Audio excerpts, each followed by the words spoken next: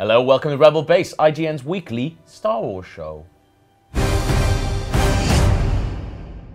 So the very first proper Star Wars Episode 7 Force Awakens trailer is coming very, very soon. It's going to debut at the Star Wars Celebration in Anaheim, and it's also going to be playing before Age of Ultron in cinemas. Yeah, so quite a few people are gonna probably see that Yeah. trailer. um, so the first trailer that we got just before Christmas, the teaser Yeah. trailer, I think that was kind of established mood. Yeah. Established kind of the a return to the good. feeling of the real original good. trilogy, and basically it's Yeah. got, don't worry, we've got this, Yeah. and it's kind of focused pretty much exclusively on the new characters, the fe- female and male lead. Yeah. Um, I feel like what do you want from this trailer? I feel like for me, we know that Carrie Fisher, Mark Hamill, and Yeah. Harrison Ford are all in this film. I really want to see them. I want to see them, but I, I mean, you said earlier that you want to see a little bit more story. I Yeah. don't want that. I want to see them. I want to see the character set up. I want to have little hints about what's going on, maybe. But I don't. I don't want anything to be given away. And I think J.J. Abrams' trailers, they're always really good. He doesn't give things away, and I don't want to know. I feel like this is a anything. catch twenty two with trailers, and you know some of the we've asked for your feedback, which we'll get onto in a minute. And I feel Yeah. people sometimes with trailers get really scared, like the X Men First Class one a couple of years ago. Hmm. You saw one of the kind of more climactic moments in the film. You? Yeah, with the submarine. Okay. and it's kind of right there in the trailer, and it's kind of the big money shot in the movie. Yeah, and I feel like maybe that movie doesn't have that many huge, huge moments, so Yeah. it has to put in the trailer. and People are like, oh, kind of know what's going to be the climax. Yeah. Um, but I think with trailers there is an art to them, and I think there's a way of suggesting story or like kind of the dynamic without Yeah. ruining too much, because we're not quite sure. Oh, oh, I think you need to so far all we've seen is a collection of characters and Yeah. locations that we kind of know. Yeah. We have no kind of inkling to what state the universe is that. in. Yeah, but it's like it's going to be out at the end of the year. I feel like a little more to say. We've got to do the show for eight more months. Yeah, that's what I mean. So if if they say about different things, they could prove We get four weeks out said of that. wrong. Get four weeks out of that. That's a good point, actually. I just don't. I don't want lots to be put in it. Like I, I'm fed up with the Age of Ultron trailers now. Like I feel like I've seen so much of that film, I know you don't agree with me, really. I But feel like, as though there's this hidden stuff because you've seen a lot of the same locations and just like a bit more from the same scenes. There's lots of other parts of the films that I feel like the film you might you won't have seen. Yet. yeah, and but I just I kind of want to go in as blind as I can. Don't watch it. Well, I kind of have to because we do a No, you don't. Star Wars I'll- show I'll, I'll Rebel reenact Base. it for you. I'll reenact it for you. All right, so what do people want then? So Brent Grisham says, honestly, nothing. I just want to be a complete blissful surprise on opening night. I'm with Brent there, to be honest. All right. But he lives in a lucky world where he's not the host of a Star Wars show. You're so making it's fine. friends though, just like sucking up to people right in it. Right, next one is from Martin. Martin says, I won't watch the trailer because they will give something away in it. Spoilers. They always do. Avengers, classic examples. Kind of again what you're saying. Have you picked these tweets just to. Well, I did pick them all, yeah. Um, I think there's a cognitive bias at work with the selection of these that's tweets. the thing. that You you've got to show something, but then you know, I, like I watched the trailer for Southpaw the other day, the new Jake Gyllenhaal Yeah. film. I know every single thing that happens in that film. Like it puts everything in there, and it's really annoying because I really wanted to see that film, and now I probably won't bother. Easier, quicker watching the trailer. Easier, quicker. Um, Krizza and Megalomaniac say both said Luke Skywalker. So that's kind of what we're talking about. That's going to be good. So similar, Jonas says just one frame at the end. This is all he needs. Yeah. Is Luke with a beard and hood. Yeah, I want that. I feel like I've seen that image like loads. I think there was like a I photo. feel like this like like. Photoshop like some fake trailers. Yeah. And there was a really good fake fake trailer like good few months ago now that has something like that. Hmm. And even though it's fake, it was still pretty good. Yeah. Ernie Barrett says, I want to see Luke go all Vader on everyone. That's not going to happen in the trailer. Although maybe they'll set something up where, you know, they see, you know, there's a falling out between Han and Luke or something like that. And like that is the setup for the movie. Fighting with his brother in there. Yeah, maybe. don't know. So domestic. So domestic. um, Lauren says um, epic lightsaber duel. Obviously, one of the best things about um, Phantom Menace trailer was seeing some of the Jedi's at the height of. Yeah. their powers fighting really intensely.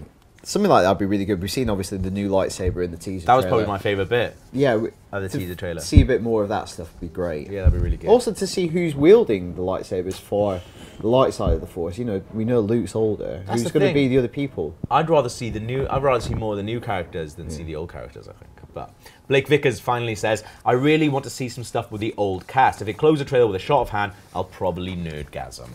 Wow. That's what we and some of these people want, but what do you want? Let us know, rebelbase at ign.com. So here's Joshua to tell you why you should be reading the new Marvel Star Wars comic all about Kanan. Mm. What's up guys, Joshua Yehl here to talk about a new Star Wars comic called Kanan the Last Padawan. Kanan's character in the Star Wars Rebels TV show, so this is a bit of his backstory. It's being written by Greg Weisman, who was on season one of the show as a writer and executive producer. He's actually left the show uh, for season two, but you know it's good to know you still have someone who's there all along during the conception of the series, writing the backstory of one of the coolest characters in the show. He's definitely one of my uh, favorite characters. Uh, he's voiced by Freddie Prinze Jr. I call him sort of like a battle hippie because he's got the long hair, uh, but he's got the battle armor, like shoulder piece, and uh, the lightsaber. He's the resident captain and Jedi of the Rebels crew. And so it, it, sort of goes back in time to when he was a young Padawan. He's the last Padawan, and like in the title, during the Clone Wars, and he's being taught by his master, whose name I will not even try and say because it's really ridiculous and I can't pronounce it. but uh, it's, it's really interesting seeing their dynamic. It reminds me a lot of the, the dynamic in the Genndy Tartakovsky Clone Wars relationship that showed Luminara and her apprentice, to where they always move their lightsabers in the same way during battle. They're always in sync. Very cool, uh, really interesting to see. We know, you know, being the audience, we know that Order 66 is coming, so there's this tension to the comic book that there's this great relationship between Master and Padawan, but you know, everything is gonna go like, you know, the, the something's gonna hit the fan any, any second. So there's a lot of tension to the story. And oh my gosh, Pepe Larraza, the artist, is killing it on art. You know, we've seen Jedi cut up battle droids a million times, but I feel like I'm seeing it for the first time when I'm flipping through these pages. He is something special, and I cannot wait to see what's the rest of this comic book. The first issue came out this week. Uh, again, it's Kanan, The Last Padawan, and I highly recommend if you like Star Wars Rebels, like Star Wars in general, or just like good stories, please check it out. Time for more force feedback, where we read out your feedback. Are we actually going with force feedback? When you come up with a better name, then we might workshop some other ones. But at the moment, force feedback. Right. And actually, I think this is one's for you. Um, the subject says fat tattoo guy. So I'll just read it out. 'cause he's Yeah, obviously yeah. Referring What's to this you, about? Referring to you. 'Kay. Uh, the big fat tattoo guy. Who says, Stop hating on edgy content. All the characters revolve around a very dark world. Just play Knights of the Old Republic or Knights of the Old Republic 2 to get a rough idea, with a slight happy, unreal tinge on them. I find you too much of a Star Wars hatter for this channel. Goodbye, please. Some very nice things to say about you. Yeah, I don't, I don't know how to take that. Yeah. well, first of all, what about your tattoos? We're not Star Wars haters. I don't think so. I'd like to, like to think not. If, if it was, what better punishment for us? than to make us do a Star Wars show every week. Yeah. And we've talked about how much we love Knights of the Old Republic and Knights of the Republic 2 quite a lot. I think like I think this refers to last week. You said you don't like things that are just edgy for the sake of being edgy. That's right, So we were talking about um, a spin-off Star Wars TV show, so you can Yeah. watch that on last week's um, show. And I said, what if they did it for Netflix?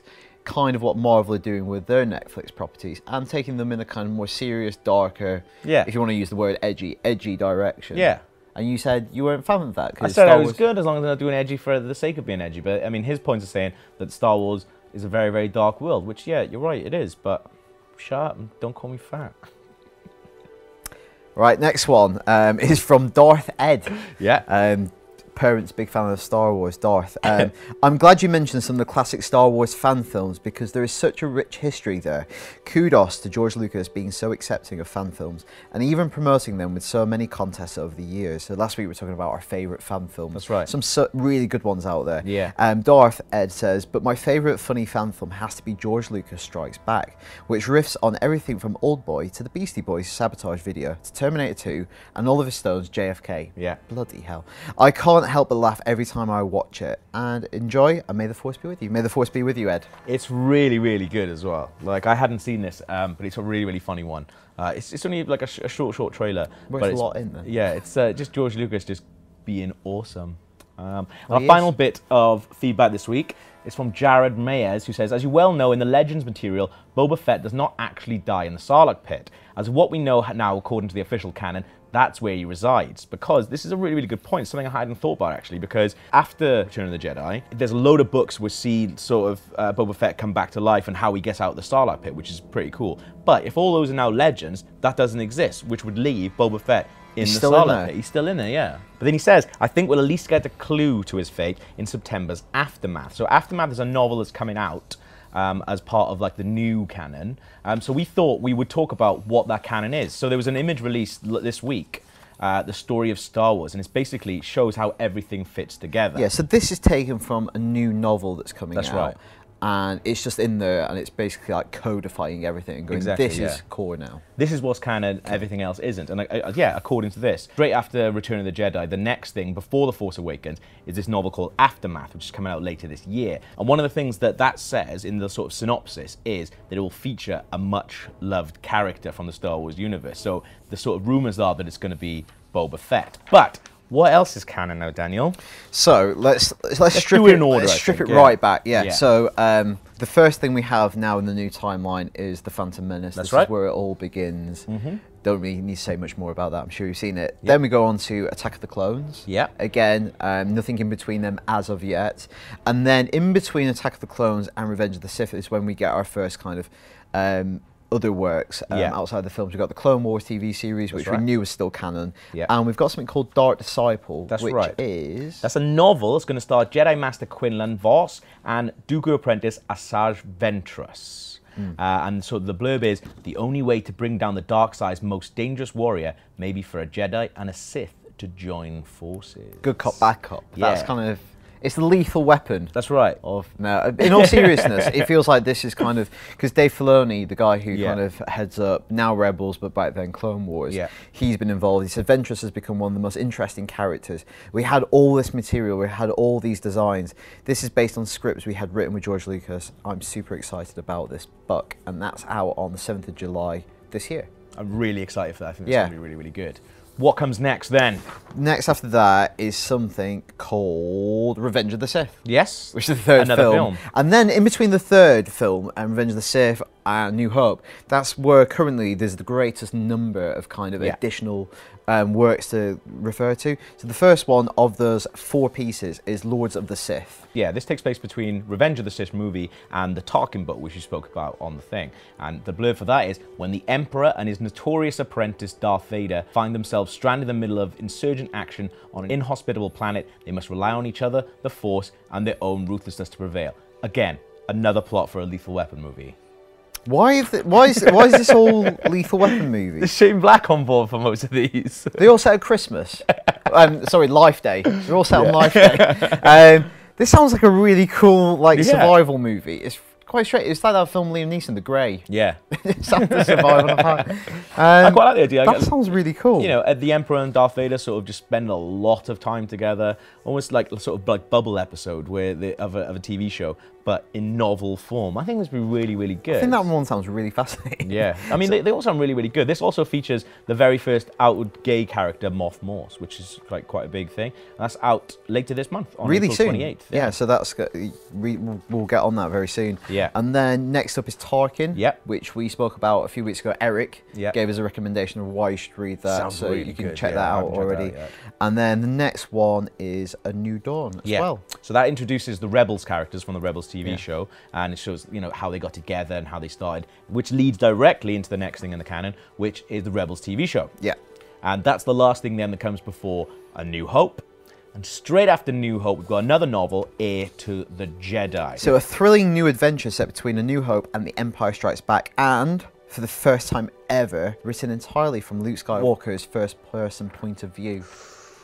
It's like it's gonna be I like it's gonna be like Catcher the Rye. So this is the Catcher here. the Rye for a new generation.